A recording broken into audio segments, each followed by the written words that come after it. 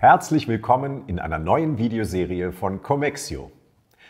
Ich möchte euch in dieser Serie zeigen, wie ihr in einem Smart Home heizen und kühlen mit oder ohne Wärmepumpe unter einen Hut bekommt. Dabei könnt ihr nicht nur eine automatische Umschaltung der Wärmepumpe von Heizen auf Kühlen realisieren, sondern ihr könnt durch die neuen Funktionen enorme Energieeinsparungen ermöglichen und somit euren Geldbeutel schonen. Mit dem Raumregler, der das ab sofort möglich macht, werden komplexe Vorgänge der Heizungssteuerung wesentlich vereinfacht.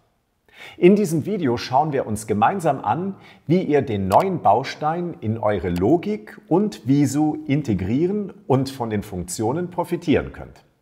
Bleibt dran und überzeugt euch selbst vom neuen Comexio Raumregler. Wir beginnen, indem wir den neuen Raumregler in einen Funktionsplan ziehen. Nachdem wir den Baustein abgelegt haben, öffnet sich das Einstellungsfenster. Alle Menüpunkte, Eingänge und Ausgänge sind im Reiter Hilfe erklärt. Wir können leider nicht auf alle Punkte eingehen, da dies den Rahmen des Videos sprengen würde. Aus diesem Grund begrenzen wir uns einfach auf die wesentlichen Funktionen. Durch das Dropdown-Menü Funktion kann man die grundlegende Funktionalität des Bausteins festlegen. Zur Auswahl steht Heizen, Kühlen und Heizen und Kühlen. Letzteres nutzt man dann, wenn man eine Wärmepumpe besitzt, die beides kann. Jede Funktion kann in der entsprechenden Regelmethode realisiert werden. Man kann sich zwischen der PI-Regelung und der Zweipunktregelung entscheiden, wobei wir für wassergeführte Heiz- bzw. Kühlkreise immer die PI-Regelung empfehlen. Die PI-Regelung des Raumreglers ist selbstlernend und optimiert sich im Verlauf der Zeit selbst.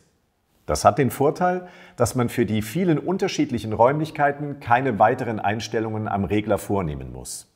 Man muss sich lediglich in Geduld üben und warten, bis sich die Steuerung optimal für den jeweiligen Raum einpendelt. Wenn ihr also keine Umschaltung zwischen Heizen und Kühlen, ob automatisch oder manuell wünscht, wählt die entsprechende Funktion Kühlen oder Heizen aus. Wollt ihr aber den vollen Funktionsumfang der Wärmepumpe nutzen, im Winter heizen und im Sommer kühlen, bietet sich der Modus Heizen und Kühlen an.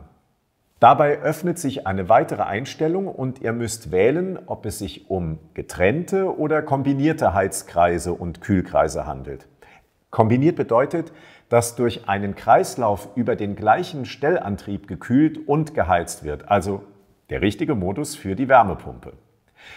Wie der Name schon sagt, nutzt man die Einstellungen Heizen und Kühlen getrennt für unterschiedliche Kreise, wie zum Beispiel das Heizen mit gewöhnlichen Radiatoren und das Kühlen mit einer Klimaanlage. Die Umschaltung zwischen den Funktionen Kühlen und Heizen selbst wird mit dem Baustein Raumregler zentral realisiert. Alle weiteren Funktionen des Zentralbausteins, wie auch die Programmierbeispiele der einzelnen Funktionen selbst, könnt ihr in den weiteren Videos dieser Serie finden. Abschließend möchte ich noch die Visualisierung der beiden Bausteine vorstellen.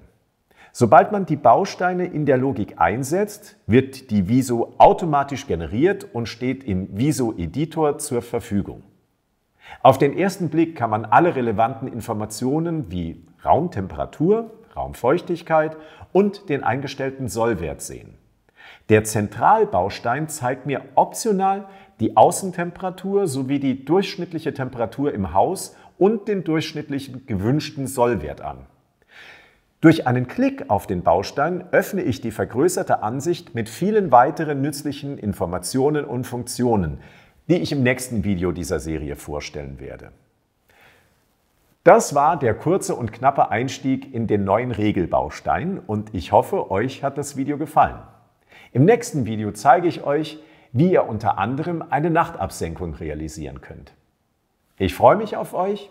Bis zum nächsten Mal. Ciao. Comexio. Next Level of Better Smart Home.